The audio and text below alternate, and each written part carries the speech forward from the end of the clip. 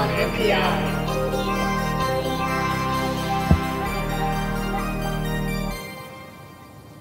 All right, this week's IMPI is brought to you by the letter C and K. Well, it's C and K. C and and K. uh, DigiKey and Adafruit team up, and we show you all the cool new products from What is it this week? Okay, so I didn't realize we actually did C and K like a month ago, but uh, I really like this NPI. And here's another thing: because C and K makes a lot of mechatronic things, like like non-silicon, it's not affected by the silicon shortage, which means it's in stock. And I like to only, uh, if, if possible, only show off um, things that are in stock for INPI, so you can go and purchase them immediately.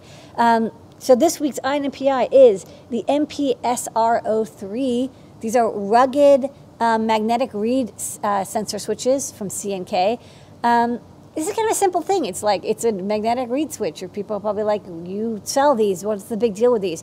But these are like, like, the Cadillac of magnetic reed sensor switches. These are like so good.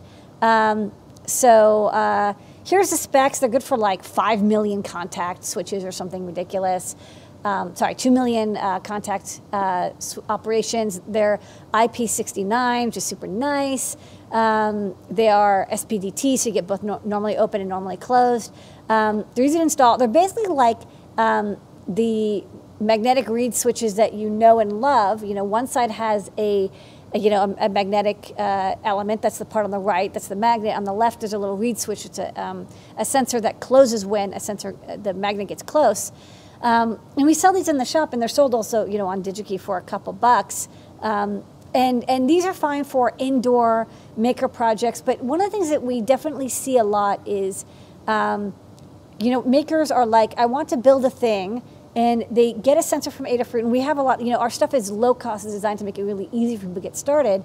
But then they actually have to like go to Burning Man and install it, or make a robot and install it, or they're like they do it as a job, and it's going into um, you know, an industrial space or a space with a lot of people. Um, over the weekend, we um, bumped into a friend, and uh, you know, their partner worked as a exhibit uh, designer and fabricator Yeah. at the Museum of Science um, in Boston, and it reminded me that like. There's actually nothing that needs to be more rugged than museum exhibits because uh, not only do they have to last for 10 years, um, but they have to be, you know, basically used and abused by uh, young children and, and you know teenagers and kids and their parents um, just like breaking stuff and pulling on stuff. And that's where um, sensors like this would be really handy. You know you're never going to get a sensor like this to survive anyone who actually Uh, is no. trying to break it for like more than like five seconds. Um, but the rugged one you know it's rugged. And so you're going to pay a lot more. Um, but i do want to you know and, and people come to us and they're like why doesn't this $4 switch last forever outside? It's not what it's designed for. If you're going to build stuff for outside for rugged use for dusty environments for wet environments you need to spend more but you're going to be so happy. And so when i got this sensor because i ordered this as a sample Have you um, ever had? yeah.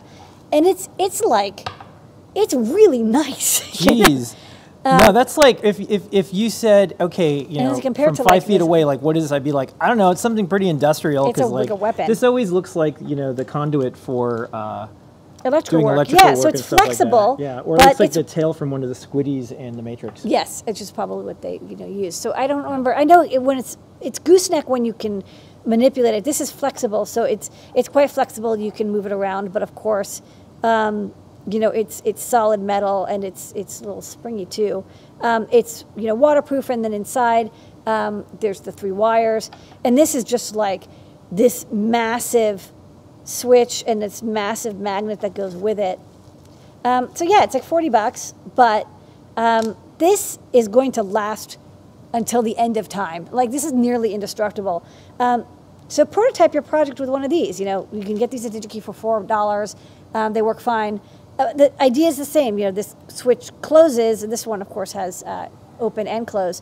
But then when you want to install it, please, please, please, don't don't use this like soft kitten like sensor, which was which is really needs to be treated quite nicely. No, not the Um, kitten sensor. You want the lion. You want like the, the Godzilla of uh, magnetic reed sensors, and so um, this is really really fun. It's like potted, uh, it's epoxy, it's rated. Solid.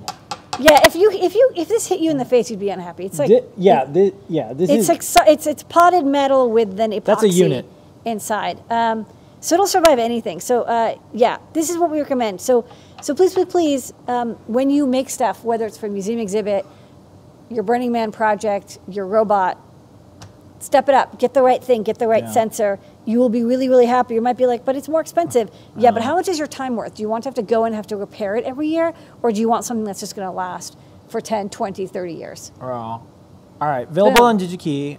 Uh, go get it, and uh, Yeah, it's rad. yeah, I mean, this is check just it like out. A, this is like a beast.